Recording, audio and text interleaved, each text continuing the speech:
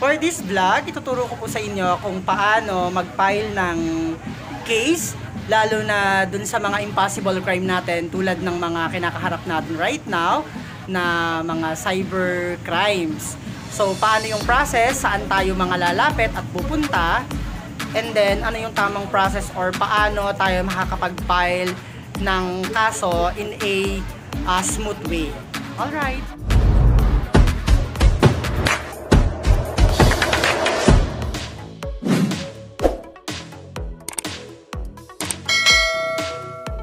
So ayun guys, hello, good morning. So for this video or vlog, uh, ang itatopic naman natin is how do I file a case na cyber crime or about cyber crime? Kasi I encountered it last day.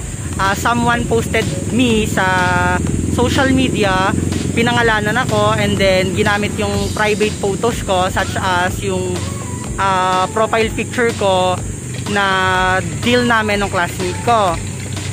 So, ngayon is uh, I try to search, kailangan ko daw pumunta sa prosecutor's office, dala yung print out ng screenshots na meron ako. So, nito ako ngayon sa Cavite Provincial Capital, pero dadaanan ko lang muna saglit kasi dito yung legal department or dun sa office of the governor kasi may kailangan ako sa kanila kasi I received a call galing sa kanila And then after that, pupunta na ako sa prosecutor's office. Okay, so ayan, magandang topic to kasi I think na marami ang mga nakaka-encounter nito sa inyo na nagkakaroon or nakakadanas ng pagkakaroon ng cybercrime. Cybercrime is not just uh, cyberbullying. Pasok lang siya doon. Pero kasi meron kasing cyber libel and mga ano siya, mga inclusion siya noon. So, tingnan natin kung saan papasok yung case na isasampa ko para dun sa gumawa sa akin ito. And then, tingnan natin kung hanggang saan aabot yung mismong laban na to. So, keep on watching para ma-update ko kayo kung paano yung gagawin at saka sana makatulong din sa inyo yung information na mga ibibigay ko. Thank you! Ayun guys, bali galing na ako sa prosecutor's office and then they advise me to go first muna dito kay uh, private or public attorney's office. And then uh, kukuha ng legal advice at the same time dito ako magpa-file or magbibigay ng information ng complaint. Ko so update ko kayo later. So ayun guys, ang kagandahan naman pagka kayo ay nagpunta sa public attorney's office, kung sino ang naunang nag-file sa inyo nung kalaban mo, uh, ang i-assure lang nila sa inyo is kahit saang PAW sila magpunta or public attorney's office ay hindi na sila i-entertain or hindi sila bibigyan ng assistance dahil kayo ang unang lumapit. Such as tulad ko uh, nagpunta ako is June 7 so kung ang inirereklamo ko ay magpupunta ng June 8 or June 9 dahil nga una akong may record sa kanila ipapakita ko lang yung mismong record ko sa kanila and then uh, voided na yung pagtulong nila dun sa mismong kalaban mo in order daw na magkaroon ng hindrance or parang sabihin natin na uh, kung sino yung nauna, yun yung tutulungan. Parang something like that. Yun yung pagkakaintindi ko dun sa sinabi nung kaharap ko kahapon dun sa may front desk. Ayun. So, much better na una ako. So, thank you! So ayun guys, galing na ako sa Public Attorney's Office ng Trece Martires City and right now, andito ako sa uh, Ace and Dang documentation sa Trece Martires City. They assist me and tinuruan nila ako kung saan ba ako pupunta uh, para maipail ko yung kaso sa Cybercrime Investigation Unit. And then, yun lang. Kaya ko lang pinictured tong office na to ng documentation ng Ace and Dang documentation kasi they are always helping me pagka kailangan ko ng paperworks or such as um, tita yan, legal, uh, legal papers, di po ba? Such as nung kumuha ko ng um, crew, crew, crew. Ano tita yon Yung tawag dito? Eh, yung, yan, tawag dito, yung agreement. Kumuha ko dito noon. Tapos, yung kumuha ko ng, nung nawala yung ATM ko, dito din ako kumuha ng yan, affidavit of loss ko. Tapos, na-assist din nila ako way back before dun sa tinatawag nating ah, special power of attorney. Ayun, saka something basta lahat ng mga legal documents natin. So dito, kayo pwedeng lumapit sa Ace and Dang Documentation located at 13 Martres City beside ng Walter Mart and Mercury Drive. Tita, any number po na pwedeng tawagan sa can kalit? call or text uh, 0956 0956 812 812 7125. 7125. So once again, Ace and Dong Documentation located at Tresa Martra City. Happy to have served you. Alright, thank you so much. Galing na ako kay um, Cybercrime Detection Unit ng Camp Vicente Lim and may kailangan pa akong requirements para mag-grant yung papayil kong case sa nangyari sa pagpo-post dun sa mismong ano ko, mismong Facebook ko. So, for the meantime, I'm going to Calamba kasi I have a hosting. So, see you later. So, update ko kayo. Once again guys, so ayun na nga, andito na ako sa may Camp Vicente Lim, pero hindi na kasi ako makakapagbigay ng kahit anong details sa inyo dahil nga ah, bawal naman ang camera sa loob. So, ang kaya ko lang bigay sa inyo is if you are going to the Camp Vicente Lim at magpapail din kayo ng case tulad ko, you need to have a medical certificate and kailangan nating makaku uh, medical certificate that you are not a PUM and not a PUI. At the same time, kailangan po natin na may proper dress code dahil hindi tayo mapapasukin sa loob kung tayo ay hindi naka-proper dress code. So, ayun lang. So, for the meantime, ang sa advice sa akin is bumalik ako sa June 20. So, June 20, nandito ulit ako sa uh, Camp Vicente Lim for the other filing nga nung case na gagawin natin. So, ayun lang. So, happy to have served you. Bye! And naman, so, hindi nga biro ang mag-file ng isang kaso. And definitely, dahil nga ang ating pinuntahan ay sa Camp Vicente Lim dito sa may Kalamba or Kanlubang ah, ang kailangan natin kasing gawin muna is pupunta tayo sa barangay natin to have a copy ng or endorsement going to our city health office. Katunayan na tayo ay hindi PUI and PUM at the same time pagdating doon sa mismong city hihingi ka ng certificate na you are not PUM and PUI para ikaw ay clear kay COVID So, yun ang kailangan mong number one na meron ka. And then after that, pagpunta mo kay Kanlubang, ipepresent mo yon sa mismong gate pa lamang. At kailangan para makapasok ka, kailangan ay naka medyo formal attire ka. Kasi hindi ka basta papapasukin kung nakasinelas ka, nakasapat, ah, naka um, shorts, naka sando, kailangan is medyo formal attire or semi-formal attire ka. Kasi nga syempre mga opisyalis ang mga naandoon. And then dahil nga sa case ko, ang hinahanap ko sa kanila ay ang office ng Crime Detection Investigation Unit. Dahil nga ang kailangan nating malaman is kung kaninong IP address yung ginamit dun sa pagpo-post ng malicious thing na ginawa sa akin. And then uh, they are subjected to have a uh, criminal liability such as the case of cyber crime tulad ng cyber libel lalo't libelous yung mga sinabi tungkol dun sa post.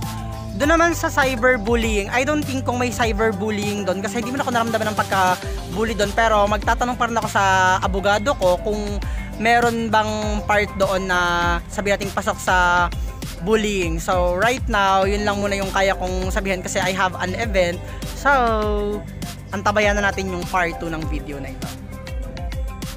So ayun na nga, maybe dating na hindi ako nag-reply sa mga messages nila dahil natakot ako sa kanila dahil they will file daw a case of usurpation of authority. And actually, tinawanan ko lang, you know what why? Kasi usurpation of authority ay isang case kung saan ang isang tao ay ah, nagpanggap na opisyales or uniform personnel na nagkakandak ng tinatawag nating pag pag checkpoint o kaya naman is nagkakandak ng any other na trabaho ng isang police which is hindi naman police, uh, sundalo, or anything else na nasa serbisyo. Pero kasi, magkaiba kasi ang usurpation of authority sa usurpation of insignia. Magkaiba siya. So, try to search nyo na lang. So, that's why, natawa lang ako kasi nga, syempre nag-aral din naman ako. So, what more pala sila Cardo Dalisay at saka yung mga estudyante ko way back before, yung mga classmate ko way back before na hindi din mga nakapasok sa uh, serbisyo or hindi pumasok sa serbisyo tulad ko na mga nagsuot ng uniform such as our creative shots nung college kami sa graduation picture o kaya naman yung mga artista na uh, nagsuot ng uniform and then they conducted na umarte bilang yun sila sa television. So they are subjected to be or to have a case na tinatawag natin usurpation of authority. So yun lang natawa lang ako doon dahil hindi pinag-isipan yung isasampa daw nila na case sa akin. At the same time, uh, may nabasa ako na isang post naman ng isang tao na siya talaga naaalala ko, nagpakilala talaga to na pulis daw siya at naka-duty daw siya sa ganto ganyan na parang napatawa ko kasi ultimo yung asawa niya nagsabi na bakit ba ganyan yung asawa ko laging nagpapanggap na pulis, ganto ganyan. Tapos biglang ngayon is ganun yung ano niya, ganun yung post niya nung nalaman niya na nagkakaroon na nga kami ng hindrance nung uh, nung taong idedemanda ko. And then ngayon, masasabi ko lang sa kanya is ah, wag nang magsalita kung hindi naman pala nalalaman at alam yung mismong batas. Kasi nakakahiya lang. Tawag dito may pag-post ka pa iho. Eh tawag dito halatang bobo yung pinagsasabi mo. At hindi mo din naman alam talaga at naiintindihan kung ano yung sinasabi mo. Pag nagsuot ng uniform ng kung ano pa man gusto na agad maging opisyales. So tigilan mo na yan kasi hindi ano hindi ka ano, hindi ka yayaman dyan. At the same time, nagmumukha ka lang lalong walang pinag-aralan. Okay? And to di mag-asawang maoy na nakita ko nakicomment dun sa post which is having or subjected sa cyber libel natin. Isa lang masasabi ko sa inyo, baka nakakalimutan nyo na minsan din kayong nag drop name ng pangalan ko sa isang post ninyo at pinalagpas ko lang to. Huwag nyong hintayin na ito ay balkan ko at isubjected ko din kayo for a case. Dahil pag nagkataon yun, hindi hindi ko na kayo palalagpasin. Dahil nung nakaraan, pinilit ko lang din talaga na magpaka-professional at hindi kayo patulan. Pero isa pa na may makita ako na mga katangahan na mga pinagkagagawa ninyo at pinagsasasabi ninyo, hindi lang yung utang nyo ang sisingilin ko, Pati mismo, yung mga kabalugaan ninyo. Mark my word. Trust me. Magkikita tayo sa tao sa taas, sa quarter. The other one naman na ipapile daw na case sa akin is the child abuse. Kasi, uh, the person na magpapile daw ng case sa akin, dun, based dun sa post niya ha, siya daw ay minor, which is, nung una kasi, hindi kami niniwala or hindi ko alam kung talagang minor siya. Wala kasi akong hawak na katibayan kung minor nga siya. Pero, kasi I try to go back doon sa mga barangay kung saan siya nakaban, such as the Osorio, and then yung isa na tinawagan ko dito kay Alfonso and Mendez, na kung saan siya nag-file at nagpakilala na kaapelido ko siya, na anak ko daw siya, na sinabi pa niya kung saan ako nag-work, na taga DILG ako, something ganito, ganyan, is, ang ginamit niya na edad ay 20 dahil nga ang kanyang work or job ay hindi decent. So, meron kasi siya laging indecent proposal or alam niyo siguro yung ibig kong sabihin dun sa work niya. So, isa siyang uh, paano ko ba ano, um, martilyo at pako. Yun ang trabaho niya. Yun ba ang minor or yun ba ang bata? So, tawanan lang din natin yon. And then, kung sasabihin naman niya is, I committed a harmful act or pag uh, pananakit sa kanya, it definitely not. Kasi, tawag dito, siguro pwede niyang sabihin, yes, na baka nasaktan siya or what. Pero kasi, if you are subjected na magpapile ng tinatawag natin na physical injury, dapat you have a medical legal. So, medo, meron ka dapat medical legal result, which is, hindi ko alam kung meron siya. Or kung meron ba talaga siya or kung nasaktan ba talaga siya or arte lang niya. Kasi nga medyo ano kasi tong tao na to eh. Medyo ang daming kabalastugan na ginagawa sa katawan. Or ang dami niyang kasinungalingan na ginagawa which is siya, siya talaga yung number one na ang daming itinatago or inihahide.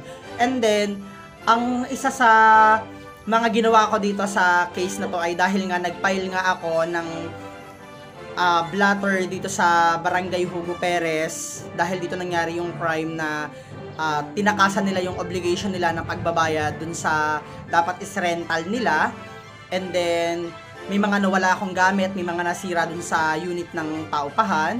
And then, sinubject ko din sila kay lugar kung taga saan yung lalaki na kasama niya ngayon. Which is, hindi din alam nung nanay pala na niloloko lang siya. So, nagka, nagpile din ako ng blatter doon. Same lang yung naka-indicate na case. And then, yung third na pinagpailan ko naman is dito sa kung saan sila lumipat ngayon. Kasi may mga information ako nakuha kung nasaan sila. And then, dinagdag ko na doon yung mga paninirang puri or yung mga libelous case na pinost nila sa social media. And then, eto naman ngayon. So, ano ba yung pwede kong gawin para masuppress talaga sila or lalo silang madikdik or maipit dun sa case na ginawa nila. So, nagkandak ako ng investigation or nagfile kami ng investigation dun sa mga backgrounds nila. So, itong babae na irareklamo ka ng cyber libel is uh, may record siya sa isa sa lugar dito sa Cavite which is gumamit siya ng ibang pangalan at gumamit siya ng peking edad. So, that is uh, talagang nagkakandak siya ng tinatawag natin na Republic Act number 9344 or the juvenile delinquency. So, delinquent talaga siya. So, hindi ano, ayan, shh, chuchu, huwag ka maingay. Yan, nagagalit yung aso kasi nga ju- juvenile delinquent yung taong topic natin. Delinquent siya, and then, may mga record nga siya sa mga barangay kung saan ako nagpunta na iba nga yung pangalan na ginamit niya. So, tingnan natin kung anong case pa yung pwede nating isampa dahil dun sa mga ginawa niya na yon. And then, ito namang lalaki na sasampahan ko ng case ng theft or robbery na pagnanakaw din dito sa unit ko dahil mga nawala akong gamit at may mga nasira nga mga littering such as uh, vandalism. Mm, at nakipagkutsaban siya, principal siya ng crime na tinatawag natin dahil nagkaroon sila ng conspiracy and proposal na itakas nga yung gamit ng mga tenant na hindi pa nakakabayad ng upa. So, nagpunta rin ako sa barangay nila and then meron din siyang uh, kaso doon at delinquent din siya dahil yung mismong nanay niya is may case filed sa kanya na sinaktan niya daw yung nanay or something like that. So tingnan natin kung uh, paano din natin ipapasok ito at kung papaboran ba sila ng piskalya dahil nga dun sa mga nakandak nating um, evidence dahil doon. At kung mapapanood nila itong vlog na to or itong content ng vlog na to, isa lang sasabihin ko sa inyo, mag-ready na kayo dahil uh, hindi ko palalagpasin itong ginawa nyo na to ng mga kabalastugan dahil sabi ko nga sa inyo, uh, mahirap akong kalaban dahil illegal ko talaga to. So, subjected na kayo sa mga barangay nyo and then tingnan natin kung hanggang kailan kayo makakapagtago and then tingnan natin kung sino ang masisira dito sa gagawin natin dahil nga uh, as far as I know, I am on the right side. And then, yung mga chat or mga messages nyo sa akin ng iba-ibang account, actually, inre-retrieve na or tinatry ng i-retrieve ang mga IP address niyan.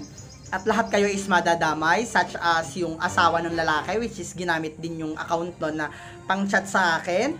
Yung account ng lalaki na ginamit din na pang post ng babae na-screenshot ko lahat yon and then even though na-delete nyo na yan or na-report na yan sa Facebook, that is floating in the air lang. Bakit kaya?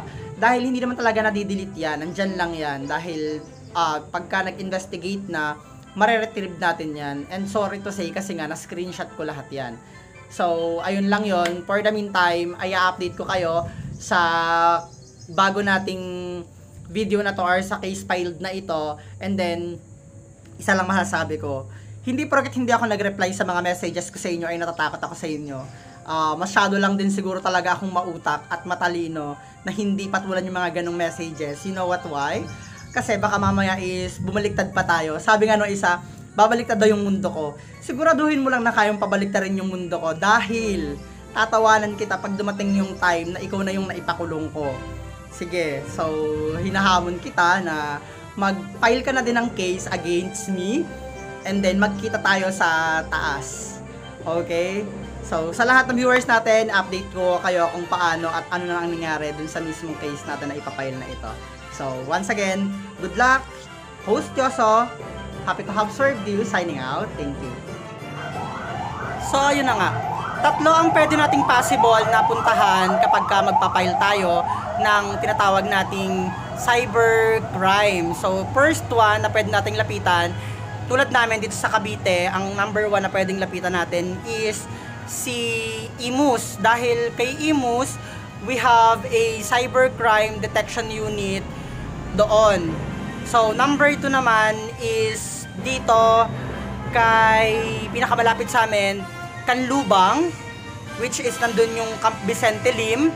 Meron silang crime detection group or CIDG.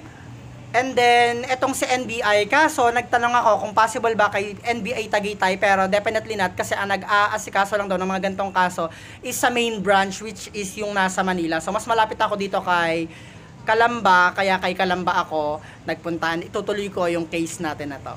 Okay, update ko kayo.